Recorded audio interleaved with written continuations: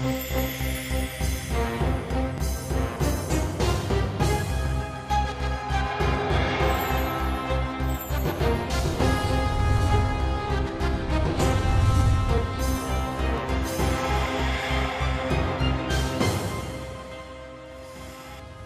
بكم أعزائي المشاهدين إلى حديث المساء ونركز لهذه الليلة على تقرير الخبراء الدوليين الذي كشف عن مقتل أكثر من ألفي طفل جندتهم ميليشيا الحوثي في حروبها الظالمة على اليمنيين. أيضا الامم المتحدة قالت أنها وقعت اتفاقا في إبريل الماضي مع جماعة الحوثي لمنع تجنيد الأطفال وأن آه، الجماعة قد تلتزم بهذا الاتفاق الذي آه، يلزم الجماعة بعدم تجنيد الأطفال. لكن من الواضح آه، ميليشيا الحوثي أيضا تكرس المراكز الصيفية آه، هذا العام والاعوام التي سبقت لاستقطاب الأطفال آه، وتجنيدهم في إطار الميليشيا وزج بهم إلى الجبهات. عن هذا الموضوع عن المراكز الصيفية وعن تجنيد الأطفال يسعدنا أن نرحب معنا في الاستوديو بالأستاذ أحمد القرشي رئيس منظمة سياج لحماية الطفولة. أهلا بك أستاذ أحمد. مساء الخير. وأيضا نرحب بالقاضي دكتور أحمد عطية وزير الأوقاف السابق. أهلا بك دكتور أحمد حياكم الله نعم. إذا أعزائي المشاهدين نتابع هذا التقرير الذي يرصد جانبا من مآسي الأطفال آه، آه، في ظل سيطرة الميليشيا وتجنيدهم أيضا من خلال المراكز الصيفية في الجبهات.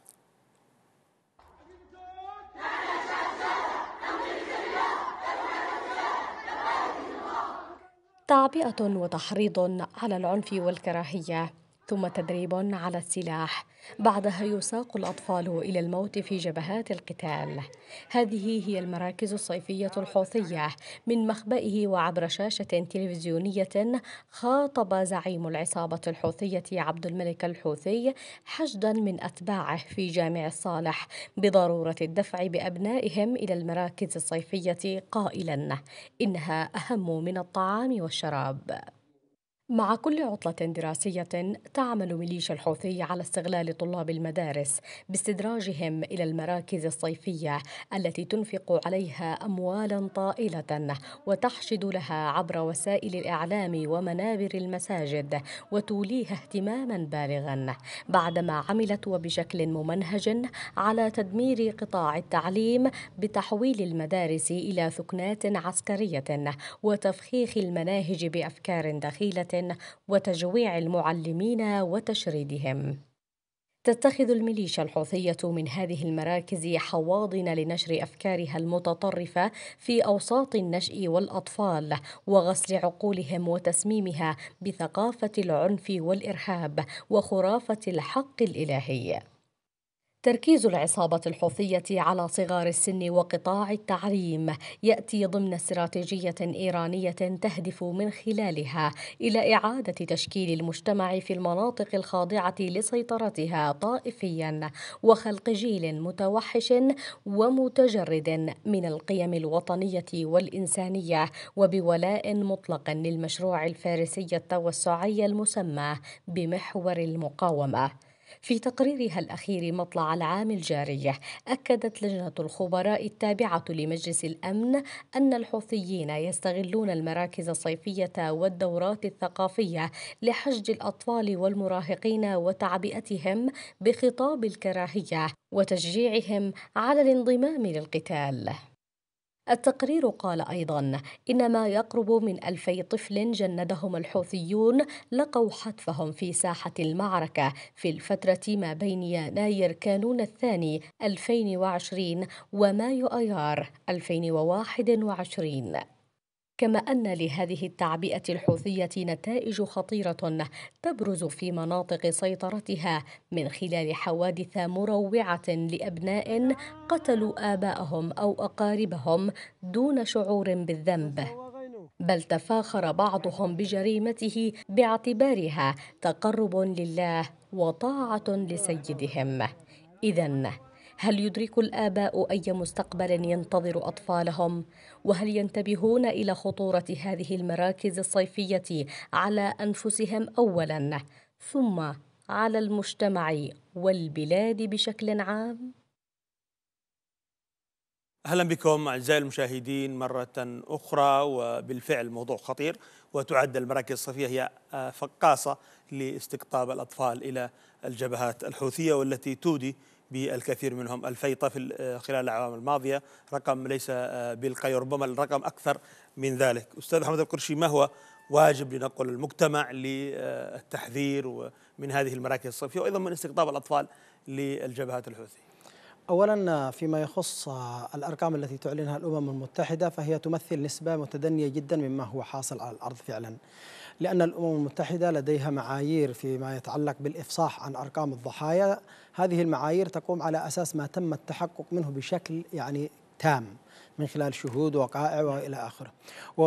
وبالتالي وإذا نظرنا إلى كون يعني عمليات رصد وتوثيق الانتهاكات والجرائم ضد الأطفال محدودة للغاية وتتقاذفها أيضا أهواء أطراف النزاع التي عسكرت الكثير من منظمات المجتمع المدني لصالحها فإننا سنجد بأن نسبة الأطفال الذين يتم الإفصاح عنهم سواء قتلى أو جنود أو غير ذلك هي تمثل ما بين 5 إلى 10% وربما أقل من ذلك مقارنة بالرقم الحقيقي الذي يحصل على الأرض. نعم. نظرا لأن غالبية هذه الجرائم يعني آه، يتم التكتم عليها كأسرار عسكرية. وخوفا أيضا من أن الإفصاح في مثل هذه القضايا سيتسبب ب يعني من تحشيد المجتمع ضد هذا النوع من التجنيد.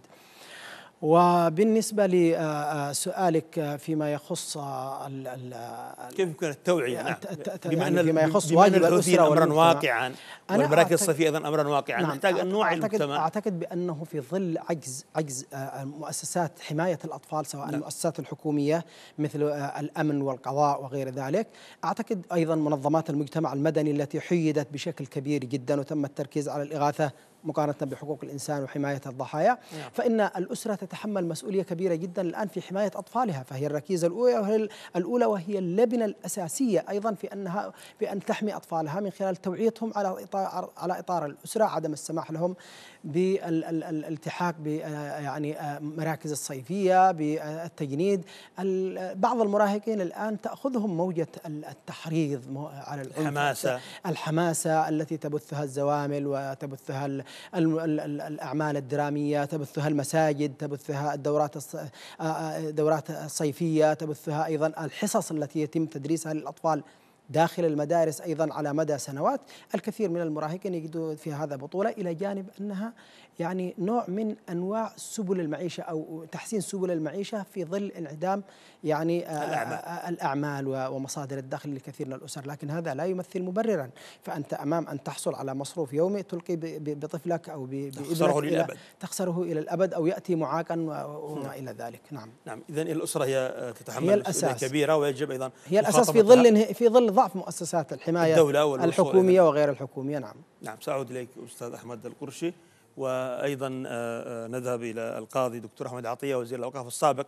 الأمم المتحدة قالت آه، أنها وقعت اتفاقا مع ميليشيا الحوثي يقضي بمنع تجنيد الأطفال. اعتقد أن هذا الأمر كافي لحماية الأطفال في مناطق سيطرة الحوثيين؟ شكرا جزيلا لقناة يمن شباب. وأنا أعتقد أن هذا الموضوع في غاية الأهمية لأنه الذي عانيناه في الفترة الماضية فيما يتعلق بموضوع الأطفال ليس بالأمر السهل. وأنا قبل أن أجيب على السؤال أحب أن أعرج على نقطة أن الانقلاب الذي حصل في اليمن لم يكن انقلابا سياسيا على كرسي الحكم فقط وإنما كان انقلابا سياسيا واجتماعيا ودينيا وثقافيا. والهدف من هذا الانقلاب كله إحداث تغيير ديموغرافي متكامل في اليمن وهو ما نسير فيه الآن للأسف الشديد منذ حوالي ثمان سنوات. وقد عانت الطفولة وحصلت على الجزء الأكبر من هذا التغيير. أنا كنت تقريبا الساعة الخامسة اليوم في أحد القنوات الفضائية كنت أقول الذي عمره ثمان سنوات أيام الانقلاب في 2014 الآن عمره قرابة 16 عام. معنى ذلك أن امامنا جيل ينشأ على هذا الفكر المتطرف هذا الفكر العنصري الذي يقوم على الفتنة الطائفية يحتاج من اليمنيين جهد كبير ومضاعف أعظم من إعدادهم للمعركة العسكرية في تخلية عقول هذا النشء وهذا الجيل وهؤلاء الأطفال من هذه الأفكار الملوثة. إحنا في اليمن ويعرف الجميع أننا لم نكن نعرف هذا الفتنة الطائفية. كنا اليمنيين على مذهبين زيدي وشافعي ولا يوجد خلاف بين الزيدي والشافعي كل واحد يصلي خلف الآخر عندما جاءت جماعة الحوثي الإرهابية ولبست المذهب بلباس إيراني إمامي 12 بحت وأخلته من مفهوم الوطنية ومفهوم الجمهورية بدت هذه الفتنة. اليوم الأطفال الذي يزج بهم لم يذهبوا يعني من ذات أنفسهم. هي تبدأ فكرة في الدماغ ويغير فكره وتغيير الفكر أخطر من تغيير العبادة. العبادة معالجتها أمر سهل. لكن تغيير الدماغ والمخ والفكر عندما يدخل في رأس الطفل تجده كل من أمامه يعتبر مشروع موت الأب الأم الأسرة القرية المجتمع بأسره نحن في الحرب الأخيرة التي حصلت في بيحان في محافظة شبوة نعم. أتذكر أنهم مسكوا بعض الأسرى أطفال لا يتجاوز اعمارهم 13 عام فيسألون ما الذي جابكم إلى هذه المناطق؟ ما الذي جابكم إلى هذه المحافظات؟ قالوا نحن جئنا نقاتل اليهود والنصارى. هذا التغيير الديمغرافي في رؤوس الأطفال من المتسبب فيه؟ جماعة الحوثي. العالم اليوم يتفرج على هذا القضاء المبرم وهذا الإعدام الشامل لمفهوم الطفولة ونشأتها وبراءتها ولم يحرك ساكن للأسف الشديد. وهو ما نعاني فيه منذ ثمان سنوات لم نسمع إلا شجب واستنكار وتنديد لكن أن يزج الأطفال إلى محارق الموت وإلى المعارك الخاسرة وإلى حمل السلاح في هذا السن ويسحبون من المدارس ومن بيوت أهلهم هذه جريمة بامتياز جريمة ضد الإنسانية جريمة ضد الخليقة جريمة ضد كل شيء جميل وحسن في هذا الوجود. نعم إذا آه، الحوثي يستهدف الأطفال وبالفعل تغيير العقول والأفكار هو هدف رئيسي لهذه الجماعة باعتبار أن الأفكار هي التي تنتج آه، بعد ذلك الأفعال. لكن هناك تركيز على آه، تجنيد الأطفال وهناك ادعاءات من قبل المتحدة بأنها وقعت اتفاقا مع الحوثيين لمنع تجنيد الأطفال حتى في الأدوار الدعم. وقالت أنها تمهل الميليشيا ستة أشهر لإخراج كل الأطفال من المنظومة العسكرية للحوثيين. تجد أن هذا الاتفاق كافي الحوثي سيلتزم مثلا. كل المبعوثين يا أخي الكريم المتعاقبين وعددهم أربعة. آه واحدا تلو الآخر تسلم لهم ملفات من قبل المنظمات مثل منظمة سياج. وأنا عندما كنت على رأس وزارة الأوقاف سلمت ملف متكامل لمارتن غرفث فيما يتعلق باستهداف آه، دور العبادة والمساجد والشباب فئة الشباب والأطفال الصغار في مسألة تحريضهم ليس على المجتمع اليمني فحسب هذا الذي يحزنك. أن التحريض حتى على المجتمع الأوروبي الآن الطفل هذا هو ما يدري أن شعار الموت الأمريكي والموت لإسرائيل أنها سياسة تستخدمها جماعة الحوثي وهي كذب وخداع. والحوثي يعرف أن هذه مسألة ربما تنطلي على السدج أما نحن كيمنيين خبرنا الحوثي في كل مراحله من بداية الانقلاب ومن الحروب الست وإلى يومنا هذا.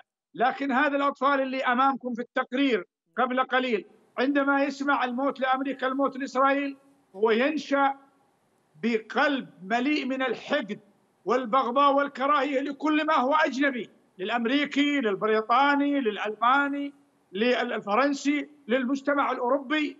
وما يدري بخطورة هذا السياسيين يعرفون أن هذا الشعار هو شعار سياسي ويتلاقونهم الأمريكان في عمان وفي كل مكان. لكن الأطفال هؤلاء كيف نستطيع أن نقنعهم ونقول لهم عبد الملك الحوثي يكذب عليكم؟ هذا الشعار سياسي نعم. وإلا في المجتمع الأوروبي هم والعرب متفاهمين على كل شيء.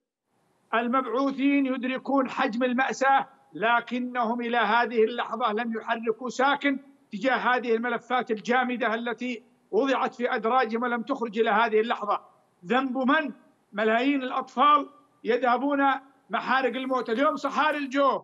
صحاري مارب آه الجبال تعز أودية الضالع مليئة بهؤلاء الأطفال. لا يسألوا عنهم أهل لا يسألوا عنهم آه وزارة الدفاع التابعة الحوثيين لا يسألوا عنهم القيادات العسكرية. هم يعتبرون أن هذا الطفل حيثما ذهب وحيثما مات سيذهب إلى الحور العين في الجنة وهكذا يمنونهم بهذه الأماني الخرافية.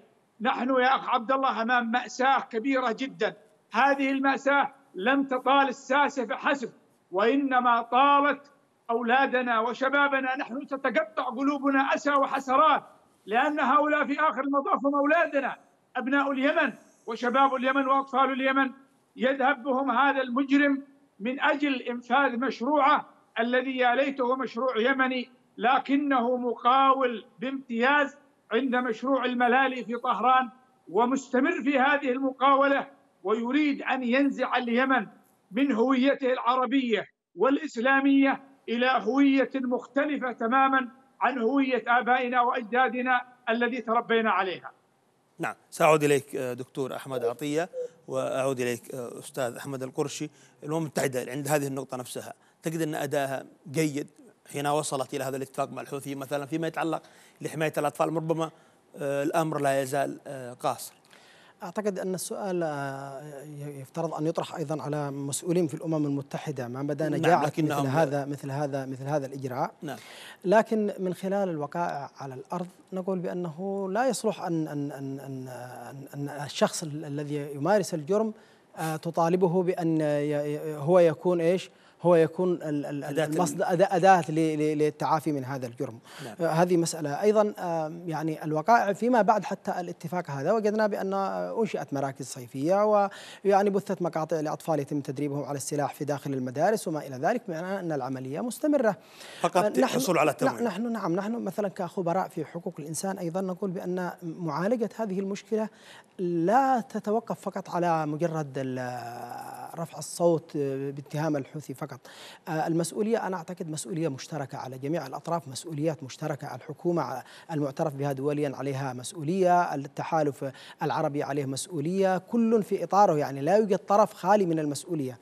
بمعنى اليوم أغلب تركيزنا في معالجة قضية بالغة خطورة على هو الذي تركيزنا فقط مش على الحوثي وبس أيضا على على نتائج هذا التجنيد يعني عدد القتلى أيضا أنه هذا ارتكاب جريمة. ما الذي قدمنا كحلول؟ نحن بحاجة إلى أن نقدم حلول مثلا. يعني إذا جينا نضرب مثال. كم, كم نسبة؟ اتفاق مع الحوثيين نعم للتوقف عن التجنيد. أحد الحلول؟ كم ليس لا لا يمثل حلا وحيدا يعني. هذا هذا إذا صدقت جماعة الحوثي مثلا. والتزمت. والتزمت بهذا الاتفاق فهو لا يمثل قلت أن الحوثي لا يمثل حلا. أنشأوا مراكز أوكي. جديدة بثوا مقاطع لتدريب أطفال بالضبط. بعد أنا أريد أن أصل إلى نقطة أنه يعني كم نسبة ما يخصص من دعم للبرامج التي تؤدي إلى حماية الأطفال، برامج الحماية مثل تعزيز التعليم، تعزيز المواد الثقافية التي يمكن أنها تعمل نوع من المقاومة والممانعة والتصدي وتوعية الأسرة والمجتمع ضد تجنيد الأطفال وغيرها من الانتهاكات، ما مدى أو ما يخصص لهذا مقارنة مثلا بالإغاثة الإنسانية المتعلقة بالغذاء مثلا والمسكن والى ذلك. أضف إلى ذلك ما يخصص وهو نسبة ضئيلة جدا فيما يتعلق بالحماية يذهب غالبا إلى الرصد والتوثيق، يتم التركيز على الرصد والتوثيق، لماذا؟ لأن كل طرف من الأطراف يخشى أو يحاول أن يستخدم هذه المعلومات ضد الطرف الآخر. فالحوثي لديه منظمات ترصد وتوثق والطرف الآخر لديه منظمات. بينما بقي الضحايا في الوسط لا توجد لهم معالجات حقيقية على الأرض ناجعة. يعني ثمان سنوات على سبيل المثال وكثير من المنظمات المحلية والدولية ترصد وتوثق وتعلن تقارير. ما الذي ترتب على هذا؟ ما هي المعالجات التي ترتبت على هذا؟ لا توجد معالجات عملية حتى الآن. المدارس لا تزال يعني منظورة للخراب منظورة للدمار. المراكز المراكز الصيفية المناهج المناهج الدراسية نفسها تم يعني الآن لما تفتح مناهج دراسية تجد مثلا ملغمة مش ملغمه مليئة مليئة بتحفيز الشباب والأطفال على الصراع وعلى وعلى القتال وعلى الموت وتحبيبهم في ذلك واعتبار من يخالف ذلك كافر ويستحق الموت ومنافق ومرتزق وما إلى ذلك. وبالتالي نحن اليوم ندعو من هنا إلى أن إلى أن إلى إيلاء مسألة معالجة معالجة أسباب ونتائج هذه المشكلة هو الأولى. يجب أن يتم التركيز على هذا وإيلاؤه الدعم اللازم من خلال الأمم المتحدة من خلال المنظمات الوطنية وما إلى ذلك من خلال المؤسسات الحكومية كوزارة حقوق الإنسان كمثلا الشباب والرياضة التربية والتعليم الشؤون الاجتماعية والعمل. هذه كلها يفترض أن تكون لديها رؤية استراتيجية. حتى الآن للأسف الشديد لا توجد رؤية استراتيجية. أستاذ عبد الله رؤية استراتيجية جامعة تلم كل هذا كل هذه المكونات. المتعلقة مثلا في الجانب الحكومي. خطة وطنية. خطة وطنية متكاملة وتقدم حلول. للأسف الشديد يا أستاذ ما يتم استثمارها من أموال خارج اليمن الآن. لو تم توجيهها فعلا إلى معالجة الأسباب الجوهرية لما, لما يعني ينتجه هذا الأداء الذي يستهدف الأطفال في حياتهم وفي مستقبلهم ومستقبل البلد والمنطقة فإننا سوف نخفف من هذا كثيرا. وأحب أن أشير إلى نقطة بالغة الأهمية في تقديري وهي أن ما يتم زرعه الآن في عقول الأطفال والذي أشار إليه معالي الوزير أن أن ما يتم زرعه اليوم سوف ينتج مرا وعلقما ودماء ودموعا لا تتوقف عند اليمنيين فقط ولكنها تهدد الأمن القومي الوطني والإقليمي. مصر متضررة السعودية متضررة الملاحة الدولية في باب المندب والبحر الأحمر المجتمع متضرر المجتمع الإقليمي والدولي. نعم وبالتالي يفترض أن على هذه الدول عندما تتعامل مع قضايا الأطفال أن تتعامل معها من منظور أمنها القومي لا من منظور الشفقة والإحسان على اليمنيين نعم. أيضا الابتعاد عن عمليات الفرز والتصنيف للمنظمات وأيضا يعني الفساد في داخل المؤسسات التي تقوم بتوجيه هذا الدعم أيضا يؤدي إلى إهدار أموال هائلة جدا وطاقات وقدرات هائلة وتحييد الكثير من المؤسسات ومن القدرات ومن الأفكار التي يمكن ما إن تم تفعيلها أنها سوف تحد. البعض قد يقول مثلا ما الذي تستطيعون فعله والميليشيات مسيطرة وليس فقط في جماعة الحوثي نعم أيضا هذا سؤال في ميليشيات أخرى. نعم به إليك لكن تفضل. بعد الفاصل. يعني ما الذي يمكن فعله في نعم. في إطار سيطرة الميليشيات؟ ليست فقط ميليشيا الحوثي لنقول آه، بالضبط. في مناطق أيضا في مناطق أخرى ميليشيات أخرى ميليشيات نعم. أخرى وكيف يمكن العمل في آه، ظل سيطرة هذه الميليشيا لحماية الأطفال. أنت انتقدت غياب الخطة الوطنية قلت غير موجودة. الرؤية الدولية أيضا قاصرة الرؤية الاستراتيجية دعم مشاريع وبرامج الحد من آه، نتائج هذا هذا هذه الجرائم والانتهاكات.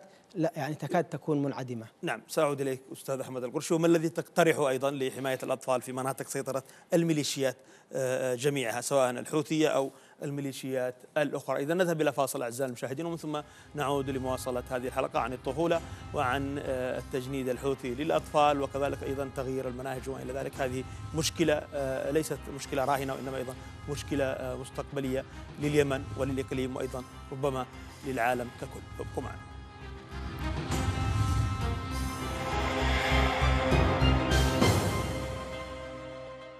أهلا بكم أعزائي المشاهدين مرة أخرى وما يزال الحديث عن الطفولة وعن آه، تجنيد الأطفال وكذلك أيضا المراكز الصيفية التي يتم من خلالها تجنيد هؤلاء الأطفال وأيضا عن تغيير المناهج آه، للمدارس الدراسية لنقل الفصول الدراسية الأولى وهذه أيضا مشكلة أخرى آه، قد نعاني منها أيضا في المستقبل. دكتور أحمد عطية يتفق الجميع أن هناك قصور في أداء لنقل البعوثين الدوليين أو المتحده الدول المؤثرة أيضا تجاه اليمن في حماية الطفل لكن أين هي لنقل الخطة الوطنية أيضا لحماية الأطفال وحتى أيضا الاهتمام بالأطفال في آه، برنامج هناك لا يوجد برنامج على الأقل في جدول أعمال الحكومات اليمنية المتعاقبة في ظل الحرب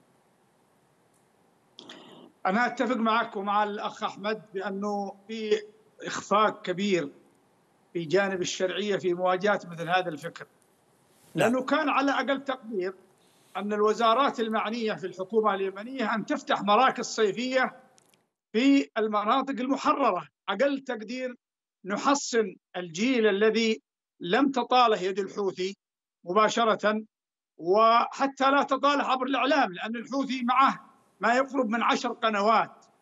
نحن معنا القنوات يعني ربما تعد بالأصابع. القنوات الرسمية ثنتين والقنوات الأهلية مثل قناتكم هذه اللي لها دور عظيم وكبير في مواجهة هذا الفكر وبجوارها قناة أو قناتين. حقيقة هذه هذه مأساة لأنه لا تستطيع أن تواجه الفكر إلا بفكر مثله. الحوثي في الجانب الإعلامي الجانب الثقافي الجانب الفكري شغال على قدم وساق. آه، القصور الذي حاصل عند المبعوثين لأنه في آخر المطاف هو أجنبي لكن ما حك جلدك زي ظفرك. ولا يستطيع أن يدافع عن قضيتنا غيرنا. وحتى الحليف الذي يأتي يساعدك هو لن يحل محلك. لكنه سيسهل لك سيدعمك سيساندك. وبالتالي نحن عندنا قصور كبير جدا في جانب الشرعية فيما يتعلق بمواجهة هذا الفكر. وإلا كان المفروض أن المراكز الصيفية الآن قد بدأت تفتح الحوثي حتى في وقت الدراسة تخيل. عنده مراكز. شغالة. نعم. أيوه الصباح يدرسوا مدارس حكومية وبعد العصر آه، المركز الصيفي وبعد المغرب حلقات القرآن الكريم في المساجد وهكذا يعني آه، نشاط مستمر من أجل غسل أدمغة هؤلاء الجيل، نحن أصحاب الحق وأصحاب الجمهورية ومن ومن ندعي بأننا يعني مع الوطن، كان الأولى بنا أن نسخر جهودنا آه، كبيرة في هذا المجال، لأن المعركة مع الحوثي على مسارين.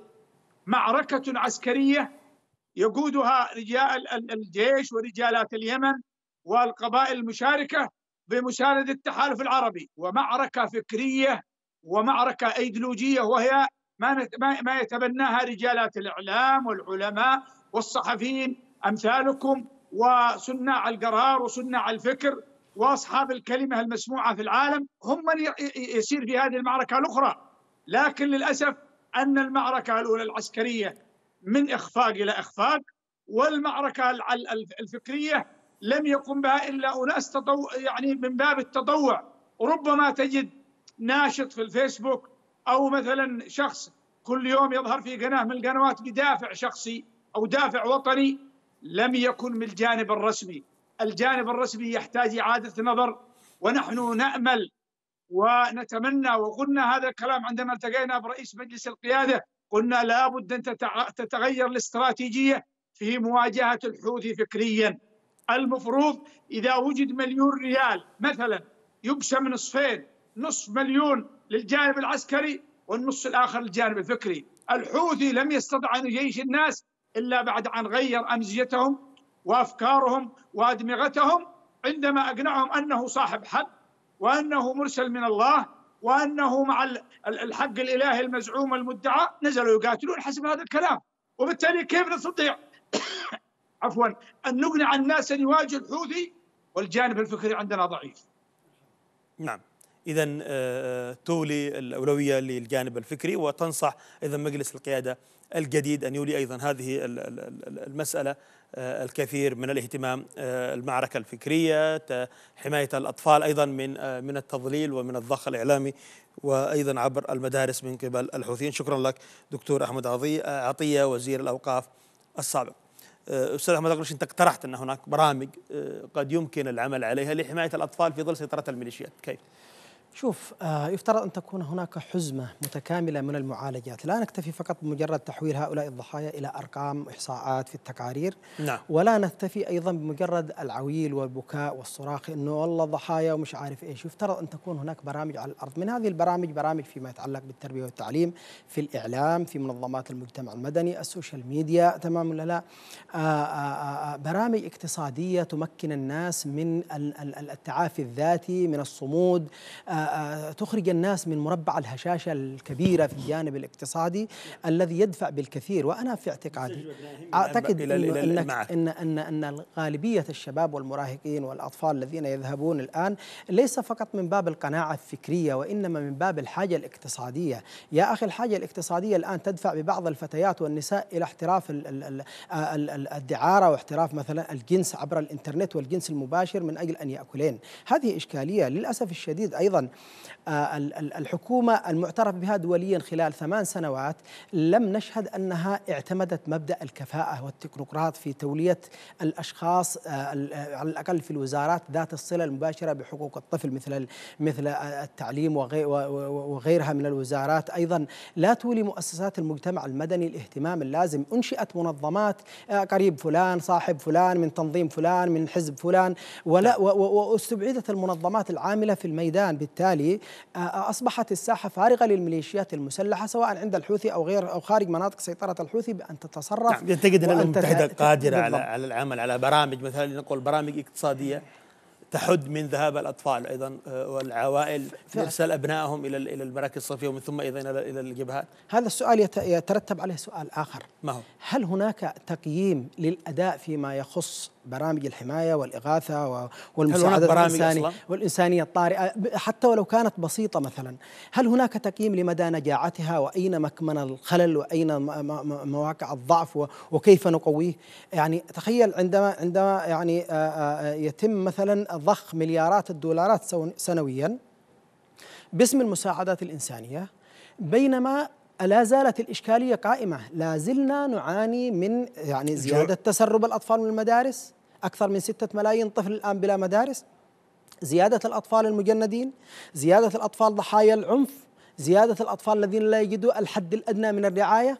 وبالتالي أين تذهب هذه البرامج؟ الناس تشتكي حتى على مستوى الإغاثة الإنسانية التي يخصص لها الجانب الأكبر. نعم. أين هي؟ هل تمت مراجعتها الدول المانحة الدول التي تقدم دعم؟ وأنا أيضا أتمنى أن المبادرة التي قامت بها دولة الكويت الشقيقة مؤخرا بأنها يعني تكلف ممثل لها لإدارة يعني العمل الإنساني في العمل الإنساني الذي تقدمه لليمن بصورة مباشرة. أتمنى أن يكون هذا يعني مقدمة لمراجعة شاملة تحذو حذوها بقية الدول سواء الأجنبية أو العربية في أن يكون لها مشرفين وأن تكون هناك آلية رقابية. يعني آلية رقابية تقوم على أساس ما هي النتائج التي تحققت؟ مش كم أنفقت انت لا تجلس تقول لي أنا انفقت مش عارف كم مليار دولار علشان المساعده الإنسانية. لا ما الذي ترتب على هذا الأداء؟ خلال سنة مثلا هل هناك تراجع في معدلات الجريمة في معدلات العنف؟ هل هناك تحسن في مستوى معيشة الناس؟ ولا إحنا ننفخ في قربه مقطوعة فقط نضخ مليارات ولا نحاسب؟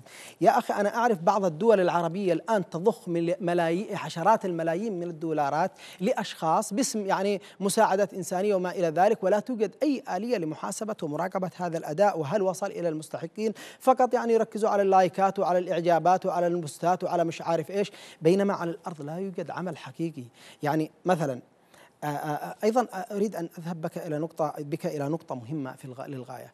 أعتقد بأن الأطراف المسيطرة على الأرض سواء جماعة الحوثي أو غيرها من من الفئات المسيطرة على الأرض في اليمن هي أطراف في الغالب لا تولي الحياة قيمة. الاهتمام والقيمة وبالتالي تجدها تركز كل جهدها وكل إمكاناتها وكل نفقاتها على يعني برامج الموت التجنيد برامج يعني حتى حتى عملية المساعدة الإنسانية لا يساعد الإنسان إلا إنه بضاعة موت قدو على السرير ميت ظهره مكسور أو يعني يعني أو اعطائه سلة غذائية أو سلة غذائية. لجلب ابنه لكن للجبهه لكن تحولت بدل ما تكون لنقل مساعده الامم المتحدة كحل تحولت أيضا إلى استقطاب من قبل لو أديرت الموارد المتوفرة حتى لدى الأطراف الأطراف المشاركة في الحرب بصوره بصورة أساسية سواء الأطراف الوطنية أو الأطراف العربية نعم. والله لو أديرت هذه الموارد بشكل سليم لتحسنت كثير من الظروف لكن للأسف الشديد لا يتم إدارة هذه الموارد بشكل سليم وأنا أدعو أدعو الرئاسة الجديدة والحكومة المعترف بها دوليا نعم. إلى مراجعة أدائها خلال السنوات الثمان الماضية وأن يتم يعني إيجاد رؤية استراتيجية وأن يتم إيجاد آلية لمراقبة وتقييم الأداء من خارج الذي ينفذ للأسف يا أخي الكريم أداء المنظمات ككل الكل سواء في حماية الكل الأطفال الكل أو في البرامج الأخرى. في برامج الأطفال أو غيرها. ليش؟ لأن الطفل هو يتأثر ببيئته يا أستاذ. يعني اليوم مثلا أنا إذا اذا إذا أردت أن أحمي الطفل يجب أن أركز على الكبار لأن الذي يضر الأطفال هم الكبار يجب أن أقوي مجتمع الأسرة. الكبار المحيط به كالأسرة والمجتمع المحيط وبالتالي عندما يعني نقيم هذا الأداء أنا أقترح بأن يكون هناك آليات رقابية نزيهة ولديها الإمكانات ولديها الاستقلالية الحقيقية و و ويكون لمخرجات ونتائج ما تقدمها من تقارير وتقييمات للأداء على الأرض يكون لها القدرة على أن تحدث تغيير على أن تحدث تحسين في الأداء بما ينسجم كما قلت مع إيش؟ ما الذي تحقق؟ أنا اليوم مثلا عندما أدعم مثلا يعني برنامج لحماية الأطفال من التجنيد على سبيل المثال، لا يفترض أنني أركز كم ضخيت من أموال، لكن كم حديت أنا من هذا من عمليات التجنيد هذا؟ ما الذي ترتب على؟ هذا السؤال هو الغائب، هذه الآلية هي الغائبة، من أخذ؟ أخذ. ومن شل؟ شل، نعم. وأصبحت قضايا حقوق الإنسان وقضايا المجتمع اليمني منهبة لكثير من الناس يسترزقون بها ويحولونها إلى إلى إلى إلى إلى إلى, إلى مصدر للإثراء بينما الناس يعانون ومعاناتهم تزداد يوما بعد يوم. يجب أن يحاسبوا الأشخاص يعني الذين أداروا المساعدات الإنسانية في في الفترات السابقة. للأسف لا توجد لا توجد عندنا اليات أداة رقابية رقابية ولا, ولا ومحاسبة. وطنية. إن أحسن فله أجر وإن أساء فله أجران. أنت فين تطرح يا أخي روحك مع مع شخص يعني يقوم على ملايين الدولارات وهو بهذا الفكر المريض؟ إن أحسن فله أجر وإن أساء فله أجران. يعني يهدر لك مدري كم مليون دولار يعني كذب وسرق ونهب ولعب تمام؟ وبعدين يقول لك يا أخي بذل جهده جزاه الله خير. يا أخي ما جزاه الله خير. والله الأموال التي أهدرت في اليمن من قبل بعض المسؤولين الحكوميين وغير الحكوميين لو أنه تم مراقبة وتقييم الأداء ومحاسبة الذين قاموا بإهدارها محاسبة حقيقية لوجدنا تحسنا في الأداء ولتحسن وضع الأطفال ووضع النساء ووضع الفئات الضعيفة والأضعاف. والجميع. نعم الأستاذ أحمد القرشي رئيس منظمة سياج لحماية الطفولة شكرا لوجودك معنا. شكراً هذا المساء كما أشكر أيضا أعزائي المشاهدين دكتور أحمد عطية وزير الأوقاف السابق. وأشكركم بطبيعة الحال أعزائي المشاهدين. وأيضا أتمنى على الأسر أن تركز على الأطفال أن تحمي أبنائها أن تمنع الزج بهم إلى المراكز الصيفية وكذلك أيضا جبهات القتال سواء مع الحوثي أو حتى مع الميليشيات الأخرى. الأطفال هم مستقبل البلاد والحرب ستقف الآن أو أو بعد الآن. ولكن يظل الأطفال هم مستقبل هذه البلاد وهم الذين سيقومون ببنائها بعد انتهاء الحرب. ألقاكم في حلقة أخرى من حديث المساء وفي أمان الله.